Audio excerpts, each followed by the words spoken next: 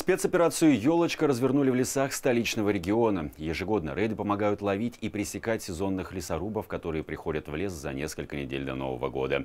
К поимке нарушителей в Люберцах присоединилась Анна Троян.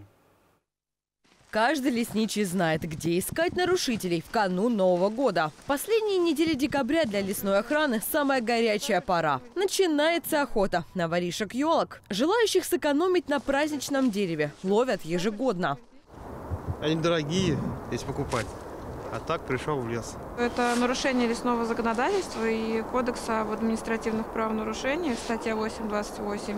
И за незаконную заготовку ели в лесу налагаются штрафы, вплоть до уголовной ответственности.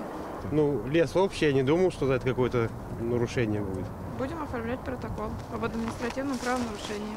Пойманный нарушитель остался без елки, да еще и получил новогодний подарок в виде штрафа, в разы превышающего рыночную стоимость новогоднего деревца. Штрафы тоже разные.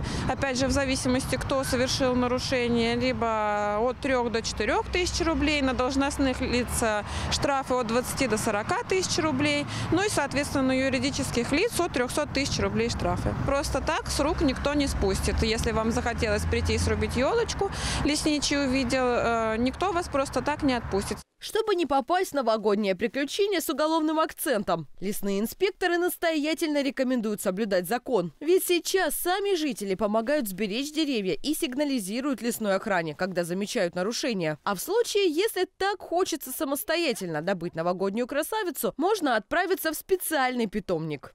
У нас в Виноградовском филиале есть Ульянинское лесничество. Там целенаправленно идет разведение именно любых хвойных пород. В предновогоднее время можете туда приехать.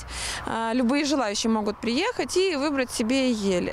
Операция «Елочка» охватила весь московский регион. Полторы тысячи инспекторов ежедневно патрулируют лесной фонд до наступления Нового года. Анна Троян, Сергей Гвоздев, телеканал ЛРТ.